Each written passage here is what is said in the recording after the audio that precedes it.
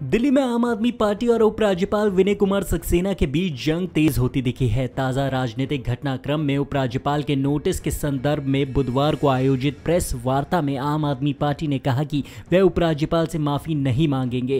इस मौके पर आम आदमी पार्टी के वरिष्ठ नेता और राज्यसभा के सदस्य संजय सिंह ने इस मुद्दे पर आयोजित प्रेस वार्ता के दौरान ही उपराज्यपाल विनय कुमार सक्सेना द्वारा भेजे गए लीगल नोटिस की कॉपी फाड़ डाली।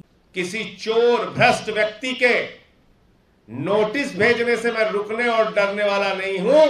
और ऐसी नोटिसेस को दस बार फाड़ के मैं फेंकता हूँ। ऐसी नोटिसेस को दस बार फाड़ के मैं फेंकता हूँ। तुम अगर ये सोचते हो कि तुम भ्रष्टाचार करोगे, लूट करोगे, और तुम्हारे इन भ्रष्टाचारों को इन नोटिसों के नीचे दबा लोगे, ये संभव नहीं है। भारत का संविधान मुझे सच बोलने का अधिकार देता है। आपको बताएँ, संजय सिंह ने उपराज्यपाल विनय कुमार सक्सेना के मानहानि नोटिस की कॉपी को बुधवार को प्रेस कॉन्फ्रेंस के दौरान फाड़ते हुए ये कहा कि, वी के सक्सेना को मैं कहना चाहता हूँ कि भारत का संविधान मुझे सच बोलने का अधिकार देता है।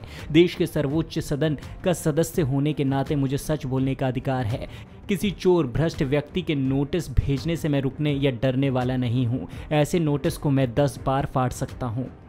तो चलिए आपको दिखाते हैं आगे और क्या क्या कहा गया। ऐसे ही देश दुनिया की तमाम बड़ी खबरों से जुड़े रहने के लिए देखते रहिए पंजाब केसरी।